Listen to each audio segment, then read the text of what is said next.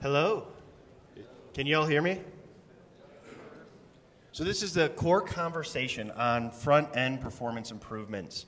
If you're looking for general site building stuff, uh, 345 tomorrow is one on general site building stuff. But this is where we get to talk about core. For those of you who don't know me, uh, my name is Matt. Uh, you might have heard of me uh, as MFer or MFer, uh, depending on how it's how y'all decide to pronounce. The original pronunciation was MFer. Uh, draw your own conclusions. Uh, I've been Drupaling for a few years now. It seems like a very long time. Um, and I currently work for HP Cloud, though I've worked for Palantir and Treehouse before. And I worked with a fantastic team on Drupal 7 module development, if you're looking for a good book. Uh, so if you want the slides, you can get them right now that I'm going to go through if you want to follow along or if you want to ditch this presentation and just know what I'm talking about.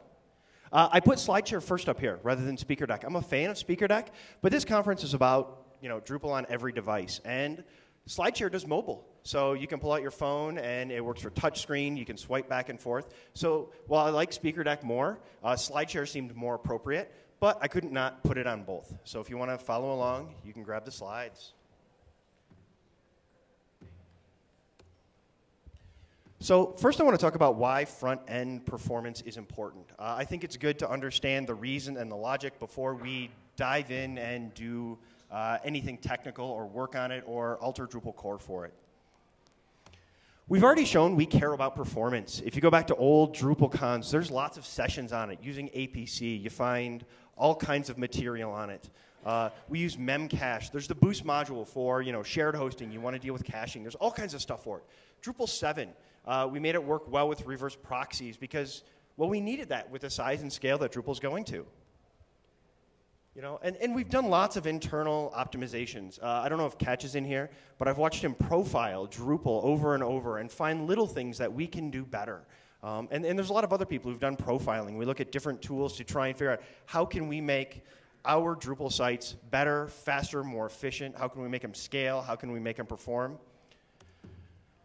But there's one thing we really haven't talked about. Uh, so the HTTP archive, have you guys all heard of the Internet Archive? Has anybody not heard of the Internet Archive?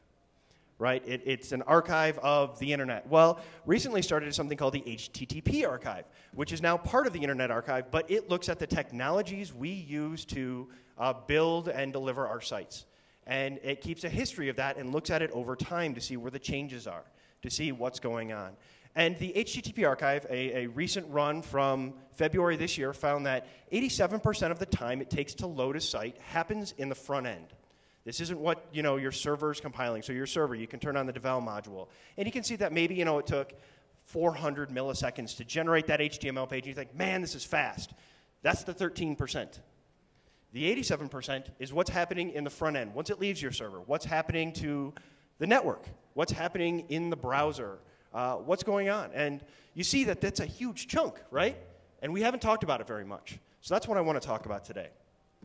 But being that this is a, you know, we're talking about mobile and on every device, it's not evenly distributed. So when you look at the breakdown of where this performance timing is happening, uh, a company called Strangeloop took a look at it a while ago and they said, what's the difference between mobile and desktop? And how is that breakdown? And on mobile, 97% of the time is happening in the front end. Uh, where on the desktop, it's 85% of the time. These are huge, significant chunks of time. So if we're looking to speed up our sites, this is a great place to look. So when you look at a lot of the statistics out there that tell us what's going on with you know, does this make a difference? Does it matter? And you can find loads and loads of statistics. Um, you know, I, there, there's lists of them. There's infographics. There's all kinds of details from the companies that work in this stuff and have measured it. But this one I really like. A 400 millisecond difference uh, caused a 9% drop in traffic for Yahoo. 400 milliseconds. On the front end, it's easy to make up that type of time, right? But this is a real difference. And Google and Amazon and lots and lots of others have found that this matters.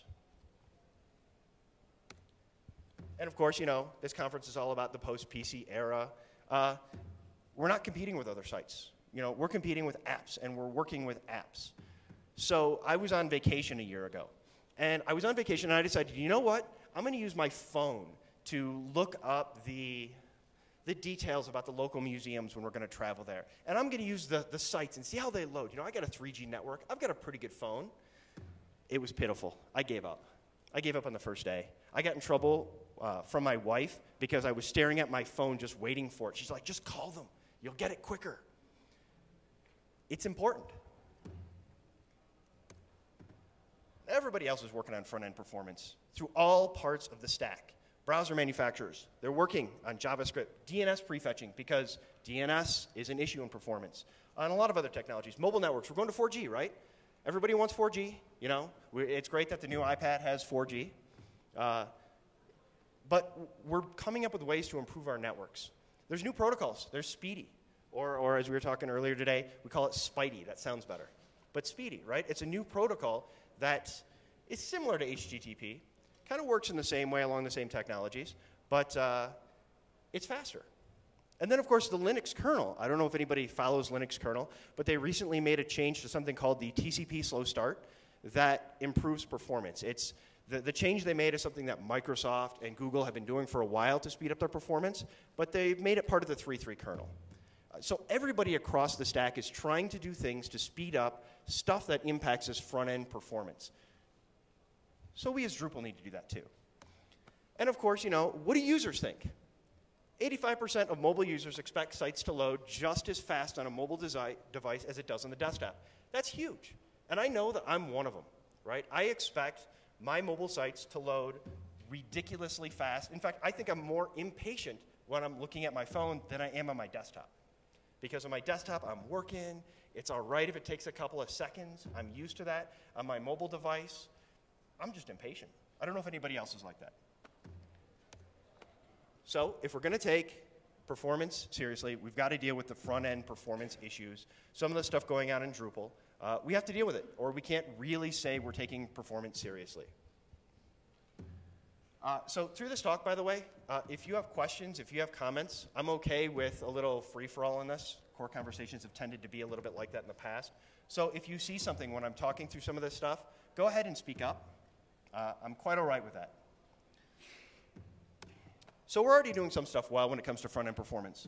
Uh, lossless compression of our images. If you go look, a lot of our images that are in the, you know, the, the directory, MISC directory, they're already uh, compressed down because you can, a lot of what's in an image, you don't need to view it and, and ship it to devices. And even what's exported from Photoshop, you don't need. And we've already losslessly compressed this stuff to make it really, really small.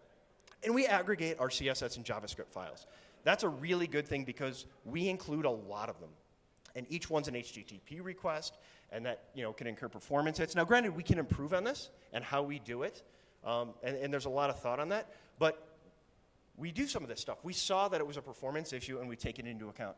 And of course, you know, our, our image handling is extendable. You can do things like um, cut out metadata inside uh, your JPEG images using our, our image handling. Um, the ImageMagick module even plugs in and takes advantage of some of this because some of this stuff can happen. So we've thought about some of this stuff already, but there is more we can do. So part of this, I want to talk about what's technically happening with page loads and things like that. Because I can point out a few things in Drupal core, but when we understand what's going on, it can help us better you know, see other things that we can do and you know, look at how we can do this well. And, and, and just an understanding of the technicalities makes a difference. So 4G is going to solve all our mobile problems, right? Right? No? No? 4G will be awesome, right? So there's an interesting statistic I didn't put up here. Google uh, did an analysis. They said, you know, you've got five megabits per second uh, downstream, and so let's take the difference between that and loading a page and 10 megabits per second downloading. And let's take a look at what's the performance improvement you get from doubling that bandwidth window. 5%. 5%. That's nothing because our, our limiting factors aren't bandwidth now. So by me going up from 3G to 4G, the increased bandwidth that I'll get, yay if I'm downloading a movie. If I'm viewing a site in small files, that's not really going to help that much because that's not where the bottlenecks are in the technology. And of course, right, Drupal is worldwide. So the UN Agency for Information and Communications points out that in 2011, 45% of people who have mobile networks had 3G or better. That's it. Not even half the world had 3G or better networks. So when we look at Drupal, you know, it's easy to think, you know, Europe. It's easy to think first world countries, Australia, the United States. We've got all these great networks. Lots of people don't. And lots of people who are using Drupal that we're trying to reach so we can do things that may seem small to us that can have a huge impact on them. So let's talk a little bit more about phone networks. Phone networks, right? You have a desktop latency. You have a round trip request. When you make a round trip request to ping a server, that's a simple round trip request, or to get a DNS. You know, we're used to it being really fast on our wired desktop connections. Mobile, it's not that fast. Mobile, there's an additional latency in there for every round trip that, depending on your connection, can be two to 10 times for every single round trip request. And that can add up a lot. So when we can do things to cut these out, that can be a, a nice savings. And TCP connections aren't just so simple as we go out and we ask for a file. We don't just go out and say, give me this file, and then it sends the whole thing back. We go out and we ask for a file, and we get part of it. And then we say, okay, give us more of that file, and we get more of that file. And we ask for it, say, give me even more of it, and, and keep going. So right now, if you were to say, go get a 143K file, you're going to make, what is that, eight round trip requests to do that. Just to go get that file. And in that eight round trip request, if you're doing it, say, on a mobile network, it's going to take two to 10 times as long for each round trip request, each of those. And, and that's just for, for this. So it's not so simple. So when we talked about TCP slow start uh, being increased in the Linux kernel, it jumped from, right now it's three, that's the spec, and they jumped it to 10. So that'll be a nice improvement, but it's not going to be this killer thing that's going to end all. So we've got to realize the technology, you know, we, for all these assets we're going out to get, and all the size that's there, we make a lot of round trip requests. And of course, we only make, browsers make six parallel connections to a domain for uh, at a time. So you've only got six connections in parallel. So if it's out fetching six files, it's not going to fetch the rest. So if you've got 80 assets in a page that have to be downloaded, because your page isn't just your HTML page, it's your JavaScript, it's your CSS, it's your images, it's all that stuff. And you've got to fetch all of it on your page load. And it only downloads six at a time. And some of the mobile browsers don't even do six at a time. Android 2.2, still ridiculously popular, does four at a time. So it's downloading even less. So here's an image from Drupal.org, and I've pulled this up in um, the inspector, and I've opened up the network tab. And what we have here is we have the, the home page, and uh, I've shown the details here of where the time is being spent and how much time is being spent in different parts of a request. This is to get Drupal's uh, homepage. And you see the DNS lookup was two milliseconds and connecting was seven milliseconds. The biggest chunk of time is waiting. This is where they've sent something to the server and they said, all right, now I'm waiting for a response. It's in that round trip time. So, and, and then there's receiving, right? So 171 milliseconds receiving this file. So when you look at how much time those parts were, if you shrink down the size of a file, you make less round trips, you have less waiting time.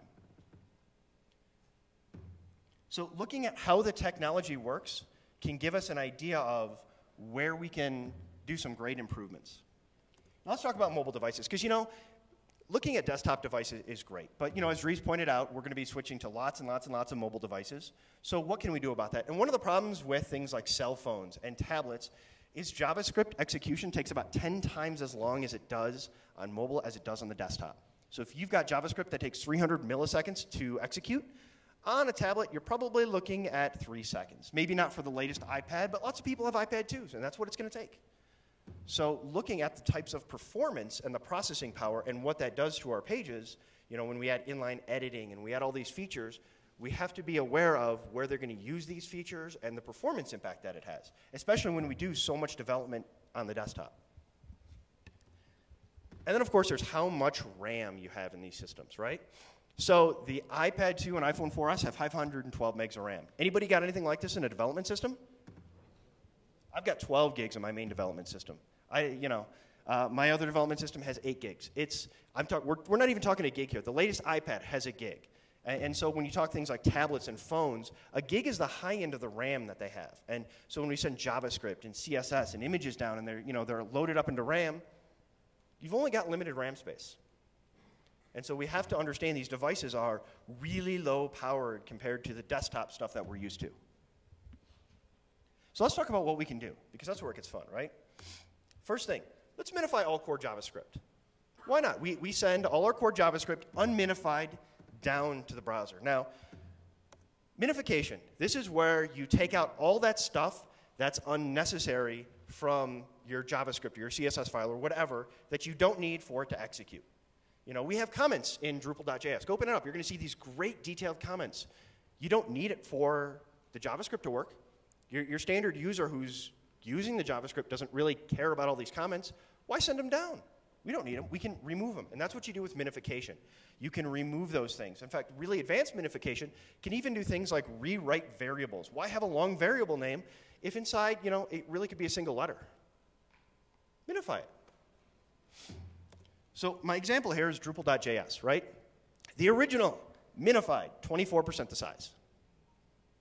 24% the size. Why are we sending the extra 76% to all of our users? We don't need to. They don't need it for it to work. Why not minify? Yes.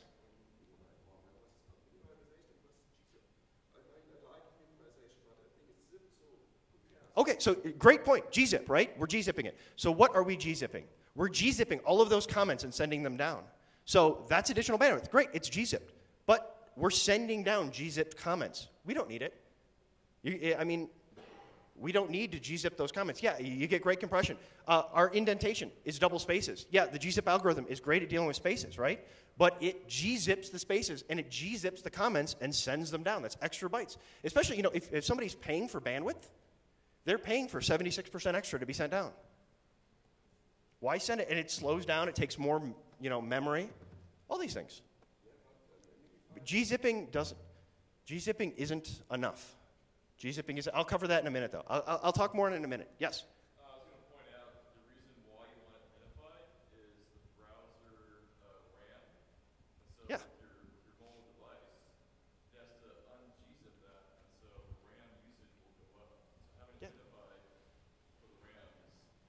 It, yeah, it's less RAM space, it's less processing to unzip it on your lower powered mobile devices. And when Drupal 8 comes out, right, we're still going to have things, people will still be using an iPhone 4S, the technology that we have now. And just like, you know, I talked about the iPhone 4S and the, the new iPad. What about all the people who've got a mid grade or a low grade Android device? Because there's a lot of those out there.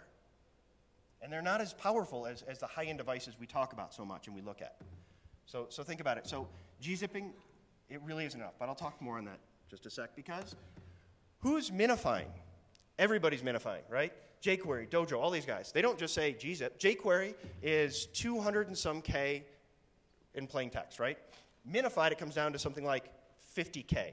Now you gzip on top of that, it's like 31K. They don't just say gzip it because that's not going to get it small enough. They minify it. Dojo, MooTools, YUI, you know, everybody. And, and even, so, so highlighted in red here, or yellow here, we have SharePoint and WordPress. So we talk about these guys as being like competition or friendly competition or SharePoint. These guys are already dealing with minification of this stuff because they know that it has an impact. Our competition knows, and they're doing it. So here's my question for you. Do we minify on the fly or do we ship with minified files? I put this up here because we've been discussing minification for a little while, and this has been one of the debates that we've had. One of the questions that's come up. How is it best to do this? Uh, and my answer is ship with minified files. So uh, let me talk about the reasons for that. I looked at jsmin-php. JSMin is a minifier that it's, it's been ported to PHP. It's simple. When you try and get into some of the stuff um, that's really, really complicated, it takes so long, we could never ship it because you could never run it on shared hosting. It would just take too long, too many resources to do. But JSMin PHP is something we could do.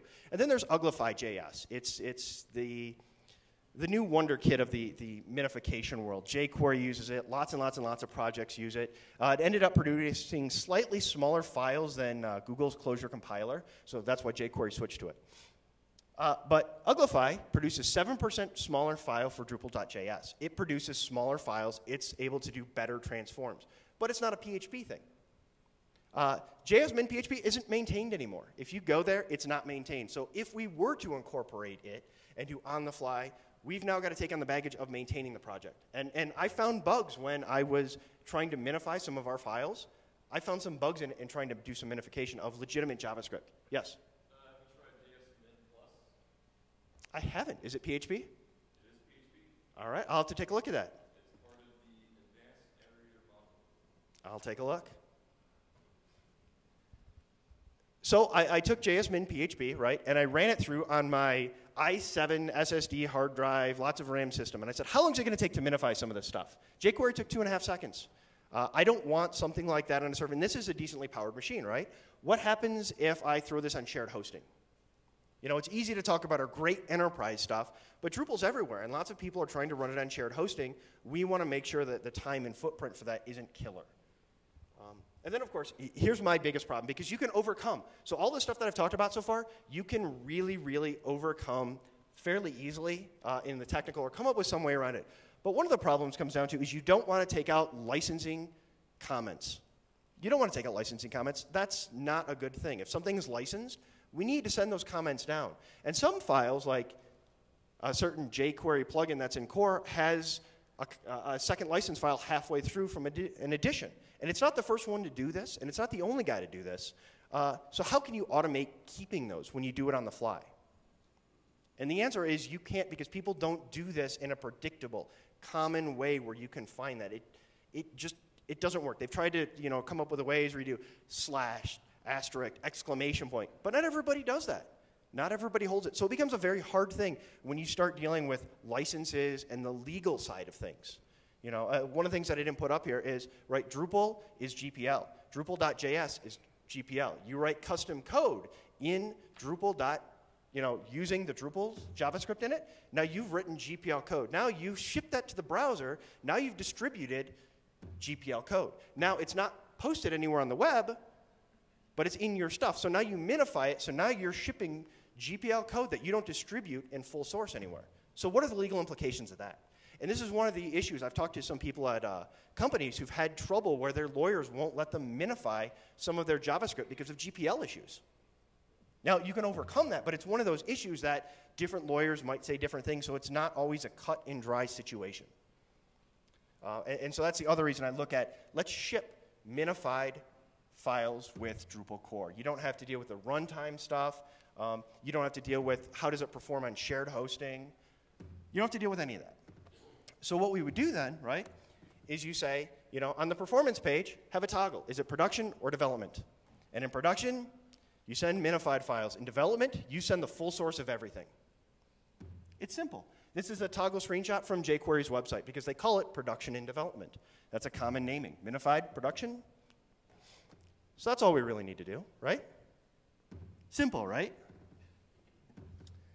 But then the question comes up of when do you minify the files? Because, right, somebody's got to do it.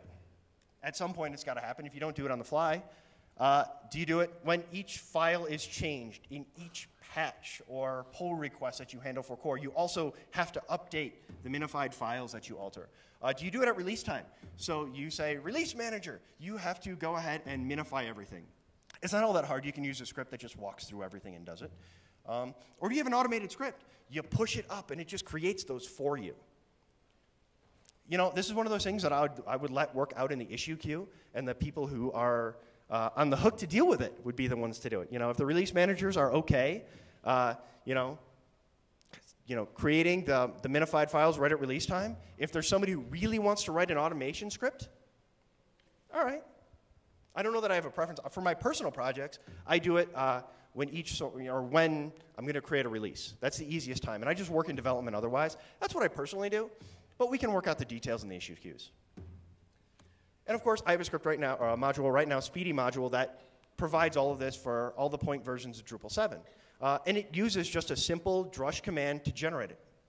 It uses Uglify. One of the nice things that I discovered when I did this, right, is if you look at like Drupal 7.0 and 7.1, the locale JavaScript is broken. It didn't work. It had bugs in it, it would break in browsers. And Uglify threw those errors. So if you use something like Uglify and it's not valid JavaScript, it's actually going to fail to minify. So it's a great check to say, is it valid? Because we shipped, uh, I think I found three versions of Drupal 7 with broken JavaScript files at point releases. None of the recent ones, but early on ones. And, and I had no idea until I ran it through Uglify. So the next one, uh, use the JavaScript module pattern. Anybody familiar with this? The module pattern? All right. So a very, very, very basic module pattern is similar to the, the jQuery pattern. So you've got a function, uh, and then the left, this is what we currently do, right? So uh, you have a closure anonymous function. What you do is you pass jQuery, and you see at the bottom, and the dollar sign is an alias. And that's how we do most of our, our Drupal JavaScript, right? This is what we currently do. This is, this is a, they call it the jQuery plugin pattern. It's really a light, the, one of the lightest versions of the module pattern. And on the, on the right, this is a simple switch, right? We, we pass Drupal in at execution time and do Drupal up here. And our JavaScript goes in the middle. It's a really simple change to the wrapper. But what it's doing is it's doing dependency injection, right? Instead of counting on globals, we inject dependencies in at, at, when you know this, this function's called, which is right when it's included, and, and then we use it internally. Uh, it, it, seems like a simple change, and it is. But we get a savings, right? So the original is, is a certain size. It's 24% size, right? The minified version is 22.5% the size. And the reason for this is, is Uglify said, all right, Drupal was passed in. I can shrink that down to a single letter. Say the letter D. And every place Drupal is used within that JavaScript in between, it can shrink down to a single letter. So you cut out all of those characters. And you did it because you did simple dependency injection. And Uglify is smart enough to know it's safe to do that. Just like you know, we alias jQuery to the dollar symbol, it's the same type thing, but Uglify can do this on its own. And we don't care because we're not, we, are not going to read that compiled JavaScript or that, that minified JavaScript. Uh, so it's plain English readable for us, but at the same time, it produces smaller files, bigger percentage savings, uh, and smaller overall files. And uh, this difference between these two minified files is smaller than the difference between jQuery under Google Closure Compiler and Uglify when they made the switch.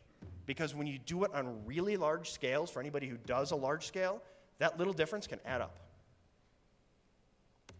So if you want to learn more about the module pattern, because it, it, seems a lot of people in here didn't know about it, there's a lot of variations on the module pattern, uh, ways you can do all kinds of crazy stuff with it.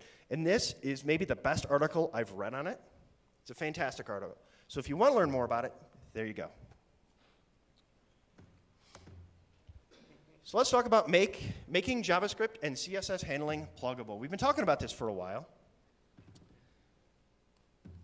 The idea behind this is right now we have one system. It does aggregation. If you want to alter that aggregation, you've got to leech into this theme system, do ugly hacks, stuff that's not nice or fun to do, right? Uh, it's not part of native Drupal. And let's change that let's make this pluggable so we can swap it out with anything else we want to do. So let's talk about some examples of what we would do if we could swap this out. If we could swap out. So let's take a look at what Google.com mobile does. They do this really interesting thing, right? So Google's mobile site takes their JavaScript and CSS and sticks it into local storage on mobile devices. So one of the things that's not talked about, we always talk about it's great, use expires headers, cache stuff, Drupal core caches stuff for two weeks. Let's cache stuff, right? Caching stuff on mobile devices, you might have two, four, five megs of cache space total on your mobile device. So your iPhone, right?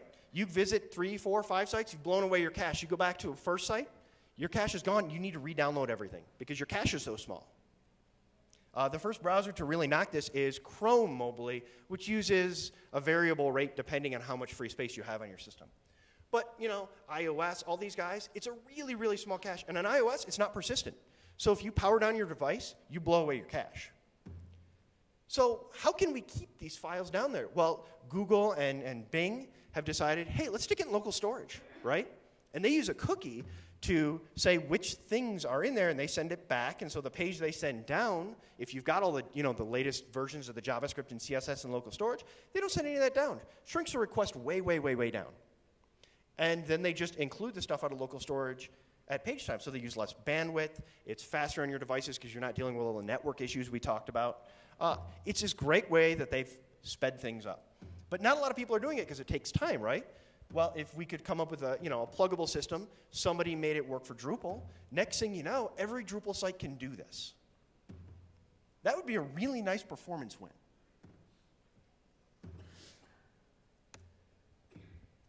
So one of the, the, the things that I didn't even know about for a long time is or I didn't think about for a long time, is JavaScript isn't just executed, right?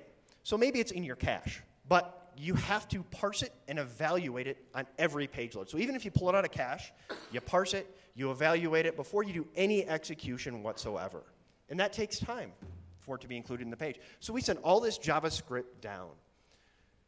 So jQuery on something like an iPhone 4 takes 320 milliseconds to parse and evaluate before you ever think about executing anything. Now the newest devices are getting a lot faster, but you know, a, a low-grade Android device that you get now, that'll still be available when Drupal 8 comes out. How do you deal with that? How can we do things to speed up their experience in this whole thing? And so there's this idea of lazy evaluation. And don't parse and evaluate it until you need it. So you can download it. There, there's ways of storing it in comments, in strings, and then at the right time you convert it to JavaScript. So your modal, instead of including your modal stuff on every page, when somebody clicks the button that launches a modal, parse it, evaluate it, launch the modal. So they'll experience a little lag there, but they don't experience it up front. And if they're not using the modal all the time, which is, you know, Drupal's overlay, we don't use it all the time when it's included in the page, why have it? Why, why execute it? Why do this on every page load? Why take the time? And so lazy evaluation is a method for doing that. If we had a pluggable system, we could look at how we could bring lazy evaluation. Now, of course, right, Drupal 8 will be out for a really long time, years. So eventually, all the mobile devices will, fingers crossed, not have this problem anymore. So it's not something you'd want to bake right into core, because at some point, you don't need it anymore. Why do it? The mobile devices are fine. Turn it off and switch to, back to core or to another way of doing it. So if we can have the option of doing different things and make it pluggable, we can get some improvements. And then one of the things somebody brought up uh, yesterday at the mixer out here was there's this thing uh, called bundle cache. It's not used by a lot of sites. So the idea behind bundle cache is, hey, right now we aggregate our stuff into things. You know, is it on every page? Is it themed? well, what if we aggregated our stuff into stuff that made sense for certain situations? So we're not generating all of these different aggregated files for all these different random cases.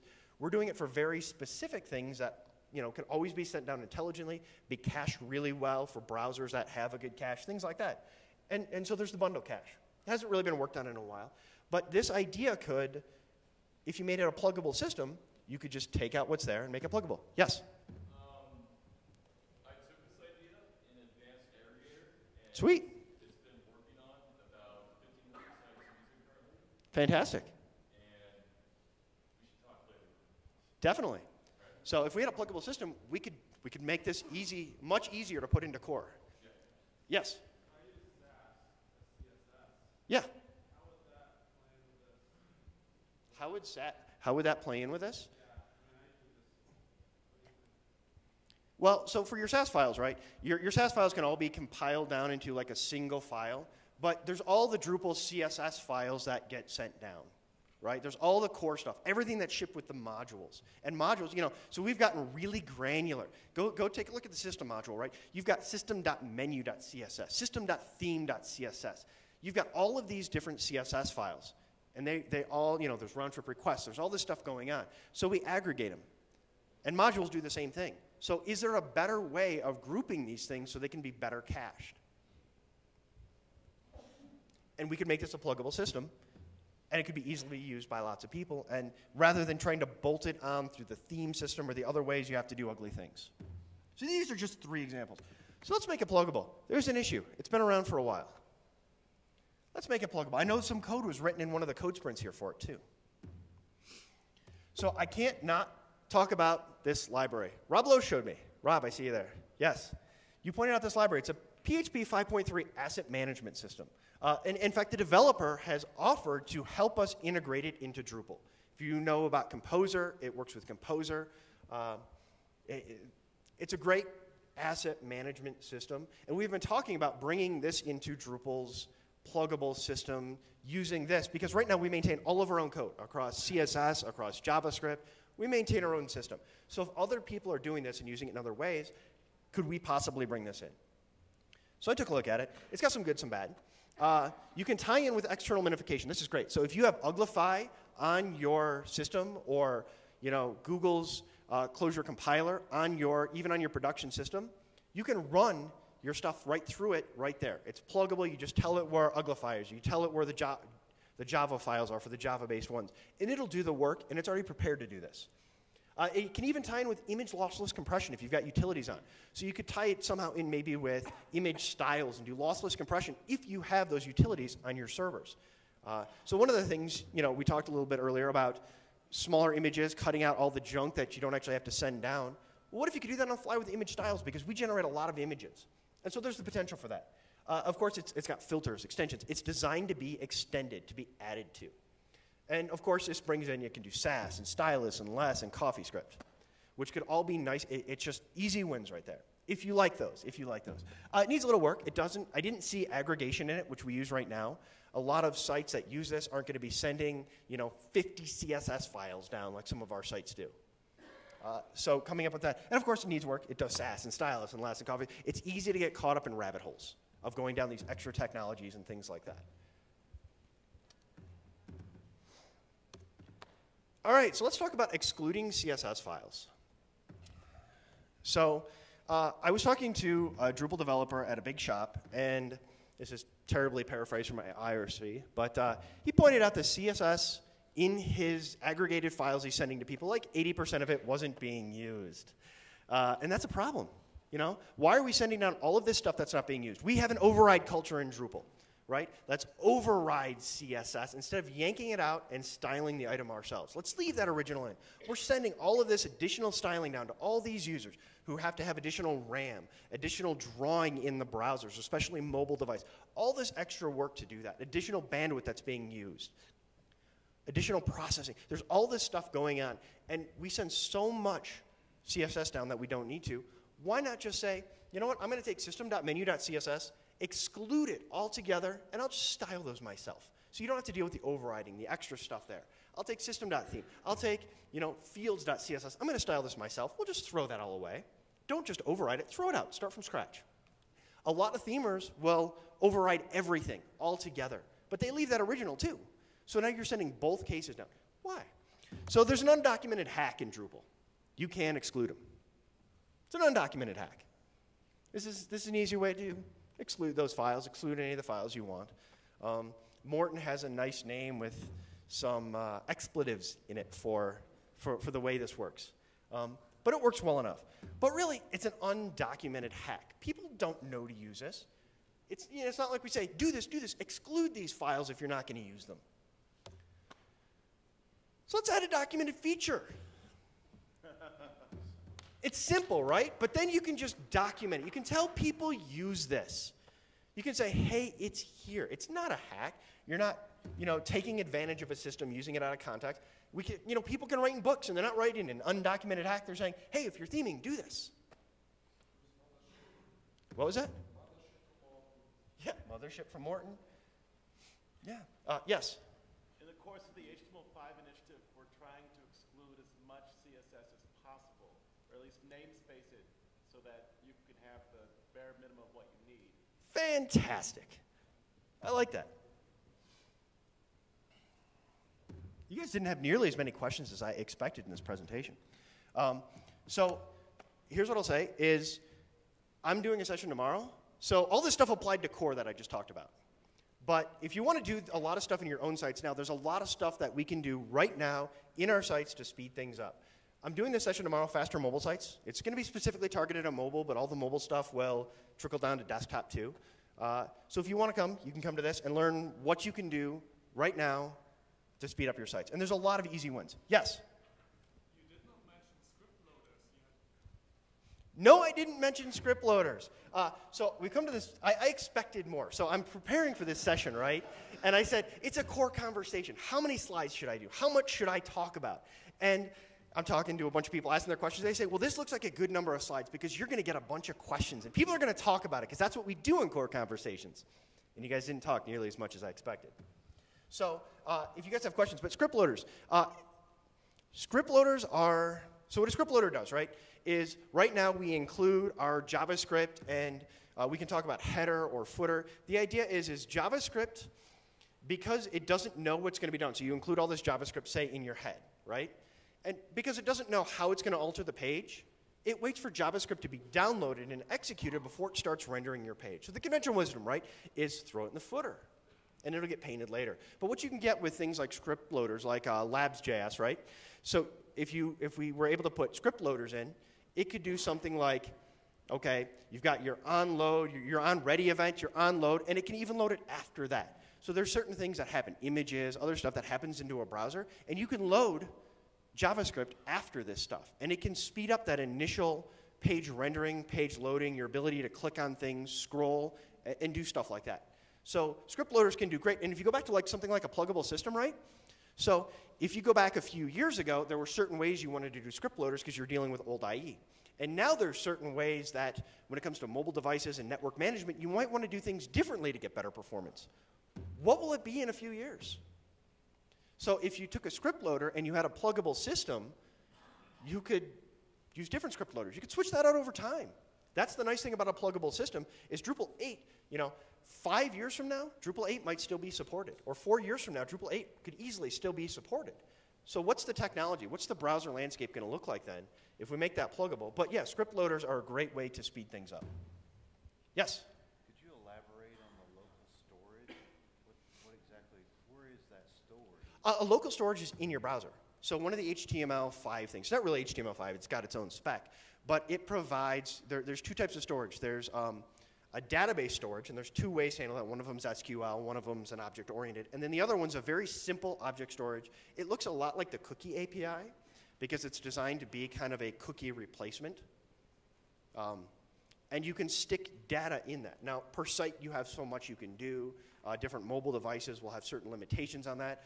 But you can stick, you know, like a meg in there without a problem. A lot of apps, so you go to use something like uh, Gmail on, on a browser, mobile, it'll stick, you know, your most recent messages in local store, so it doesn't go to the server to get it, it reads it from local store. So it's an in-browser cache. On iOS, you can reset it, the local store doesn't go away. Yes? But isn't local storage also limited, limited to 5 megabytes? Same as the, the cache on mobile, mobile devices? Uh, there are limits to it. Um, I'm not sure what it, it's not a standard limit, right? So the limit is, it's variable per device. So it depends on how you use it. Uh, there are limits to it. Mine has gone over five megs on the last phone that I had. So I'm not exactly sure what it is. But you're right, there are limits to it. So you want to use it wisely. So if you do a bunch of minified JavaScript and CSS, maybe it's 200K. That's not going to kill your local storage. You know, that, that's something like what Google does now. Uh, Um, so I was really, when I saw the first slide, and when you showed the element inspector, and it said it was the home.html, and it, that was the time it took, and that was exactly what I saw when I was trying to optimize my site. And I fought with my client because I said, it's the Apache server that your people have set up, which is a problem. Uh, and that's why I thought you'd be talking more about Varnish.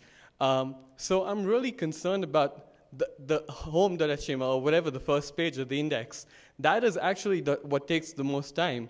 And so apart from Varnish, what are your suggestions? Because if you see the time it takes to load the JS and the CSS, which is over time, it's really small. The time to do that, you know, it's going to depend, right, on where you are. So do a test from, you know, have a server in the United States. Do a test from Europe on what that is. And, and you're going to find different things. So, you know, you want to use things like edge-side caching, right? Uh, you want to put varnish in front of it.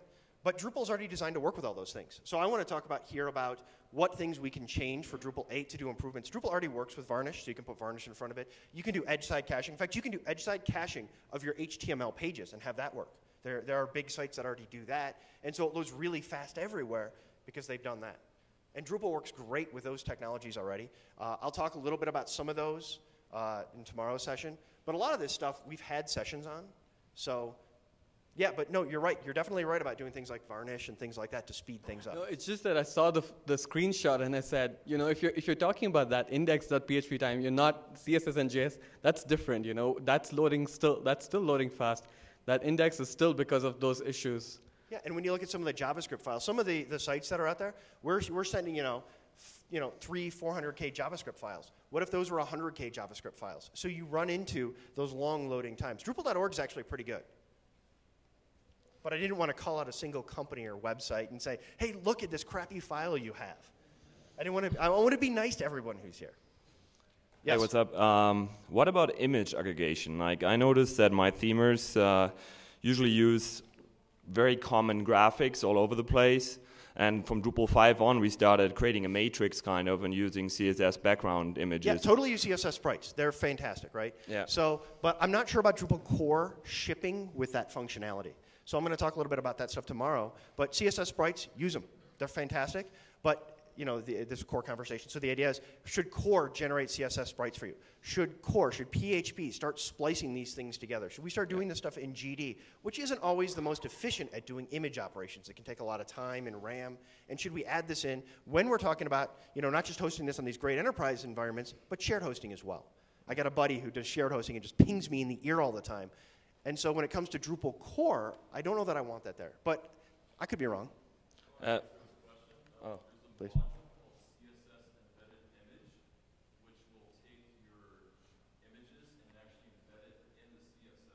oh, wow. It turns it into data URLs. You can Okay. also use something like Sass or, Yeah. or, or Glue and some of these other things that you can generate it beforehand. Yeah, I was uh, just wondering what the overall take is on that. And then um, I, one comment on my own side on that, and I think it goes more into his account too. I, I definitely think uh, generalizing, saying like ship out your module with like uh, JS minified is a little tricky because then you get like modules which have that only in there and you can't basically debug them anymore. Because minifying is also almost like encrypting it in, in kind of way, so you can't really find a bug anymore. So I kind of like, if it's your module, I really love it. Um, Uh, I really like the approach to actually have cached versions of the minified file. So they only generated once, they're cached, and then they're pretty much like the same route like you do it, like you ship it out minified. So- but you uh, have the control over it, you know? Yeah, and I'm looking at For- core and all the situations that Yeah. core would be in for this. So when you can do some of this stuff on the fly, but how do you do it well on your crappiest hosting that, that Drupal's going to run on? Yeah. So for those situations, I see why. And when you're bugging, right? So if you have that toggle of production and development, that's an internal flag. Modules can plug into that and do the same thing and take advantage of it just like core could. Okay, cool.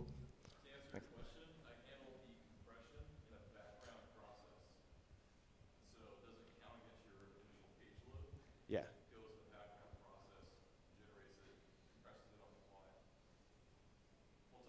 Yeah, we'll, we'll, we'll get together. Uh, Yes. My question was touched on by the, the last exchange. I'm wondering if you can compare sprites to uh, encoding images as, as data inside of the CSS files themselves for background images. So you got to think about it. CSS, if you're sending it down to all these pages, will the data that you're sending in there be used a lot? And if it's not, is it wasted? Because sure, you got to deal with HTTP requests, but you're dealing with file size. So you take, you know, a data, and a data, taking an image and turning it into a string isn't always the most performant way. So you know, a lot of times you want to use it for smaller files or stuff that's going to be on every single page because you cut down an HTTP request. But if it's not going to be on every page, say, you know, it's a certain way to do bullets, and you only do bullets on certain pages, it might not be a good idea to do that there and instead do it in a sprite. Uh, it's kind of a give and take on how you would do that. Um, Okay. Again, I'm not sure where the best place is to do that for Sure. core, but it might be a good analysis. I think it's great for themes and for specific sites. Uh, but when it comes to core, I'm not sure where the bless- best places to use something like that would be. Okay, thanks, Matt. Yeah. Yeah, I'm wondering uh, what your thoughts are on how we can handle JavaScript dependencies management in core, because I feel like we like we talk about script loaders, and there's a lot we can do with them now. Like most stuff we can put in the footer, we can do Drupal.js, put it in the footer. Um, most of that we could probably load asynchronous, asynchronously, but core has no knowledge of what scripts depend on each other. And so, is that something we should or should handle in core? How could we? And does that sort of approach the, the point where maybe we're just redoing something like require.js? Yeah, I don't know the best situation. So I avoided that, that, that whole requirement thing because I didn't look at it as being a, a high performance thing we could get in because I was looking at low barrier to entry. And so the debate on how do we handle a script loader and how do we handle required dependencies, uh, when I've had conversations over the last few months on it, there hasn't been like this consistent, this is the direction we should go for. And I haven't had one that I've loved. Now, Drupal core, right, using uh, Hook Library, has a lot of knowledge about dependencies of JavaScript files, right? And, and so there's a lot of knowledge there. Now, not everybody takes advantage of it, um, but it wouldn't be hard to file bugs or to go in and patch that stuff so that we do because the base system's there. So a lot of knowledge about knowing how the stuff works. And so using something like require.js could be used to, to do that. but I don't know if there's a real agreed upon approach we can get done in. How many months do we have till Drupal 8 is feature frozen with everything else we got to do? So I, I don't know if there's an approach we'll agree on before that, but it's definitely something worth looking into. Hi, Matt. You're my hero. Thanks. Hello. Um, first, a shout out to the HTML5 folks. Totally. Um, who is actively separating the, the base, theme layer, and administrative layer uh, CSS and JavaScript so that on a page load you load less if you want to. Yeah. Um, but my question is really about from like a language perspective. You mentioned a couple of great things, uh, like name or the module, a focused way of handling JavaScript. I was just wondering, and has has anyone done like a really in-depth uh, review of all of our JavaScript, all of our CSS to see if we're applying best practices on performance and such? I know there's an issue about the difference between uh, like uh, namespace JavaScript using dot f- or versus dot find. But I was wondering if, if you could tell us any other resources of what we could like reference in order to research our stuff to see if it's good. Uh, yeah, you got a comment back there? Um, um, Not is very active, not in the Drupal, on Drupal org. I don't know his real name, unfortunately, uh, but he's really active in that area. And we have uh, lots of issues in Drupal core tag related to JavaScript cleanup. And that's where you'll find lots of, of um, possible targets for performance cleanup and um, all So I, I could search all the, the Drupal.org issues with JavaScript cleanup tag, and I Uh, would. look, I think you is it just under the JavaScript tag? Or does it have a special tag? JavaScript cleanup? Okay. Yeah, yeah, and I'm aware. So, yeah, what you Unofficial. saying. So, for the recording, for anybody who didn't hear, there is a, you can look for JavaScript issues about cleaning up our JavaScript. Uh, search for JavaScript cleanup in the, the issue tags. And uh, I, I, I'm very familiar with the Drupal.js one. Um, but we are looking at ways to clean it up to have better practices. Uh, we're not all in agreement on exactly, there, there is no standard document on which better practices we should use, which is one of the things we got to to decide, but uh, there is some, some work around that and definitely people who are interested. So if you guys are interested in learning about JavaScript and what you can do better, I'd love to talk to you. And we can point you in the right directions. I don't necessarily have necessarily answers. Use this best practice or this one that we've agreed upon, but I'll start sending, hopefully try and send you in the right direction. Yeah. Uh, this is probably a crazy idea, but Awesome. I like crazy. Uh, uh, what about serving JavaScript and, or core JavaScript and CSS from D.O for all Drupal websites, much like Google Code does jQuery and other other libraries? That way, you benefit from the Well, I'll, I'll, I'll say two things. First, I don't want to speak for the Drupal.org folks and exactly how we should do it because serving all of this JavaScript from Drupal.org, yay, we don't have to suffer the bandwidth, but there's a lot of sites, there's a lot of bandwidth, and that costs a lot of money. it's awesome that like Google does this stuff, but there's a huge cost behind it. And then there's the whole fact that you know it's at the open source development labs, right? You guys know how often that gets like DDoS because some site is being nailed. So do we want all Drupal sites from around the internet being taken down because it got DDoSed? Uh, so I would say it sounds really cool, but my guess is is that it's too expensive, and too many sites would go down from some other thing being hosted there being taken down, or by DDoS or something like that. That it's probably not practical. But it's a neat idea, and, and CDNs are fantastic. Drupal works great with them. There's a hook you can tie in. In fact, the hook it's hook file URL alter or something like that. The example code in there is about using a CDN. So Drupal is already CDN friendly to do this stuff. I think it's a Drupal 7 thing because people wanted to do that. So it's already there for that stuff. So yeah,